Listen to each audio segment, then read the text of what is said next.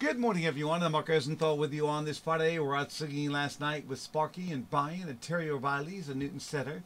Sparky, we call him Sparkles. He was leading the band with Brian. They were both singing, and everybody sang last night. It was too much fun. But I'll tell you what, what's not going to be fun is a brutal cold coming to Boston over the weekend. But for today, on this Friday, partly sunny, partly cloudy, temps low in mid 20s. Cloudy, cold on your Friday night, maybe some flurries and squalls late, lows about 12. Now here's your five day forecast. Let's bring it on for you as we punch in the five day forecast.